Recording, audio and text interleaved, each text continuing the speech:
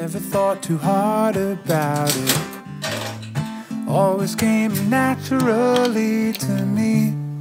Never put a foot out of line. And I tried not to make any awkward statements. Always tried to be a good neighbor. Waiting for the right time to speak. Now it seems the tables are smashed into tiny little. I only want a slice of the pie.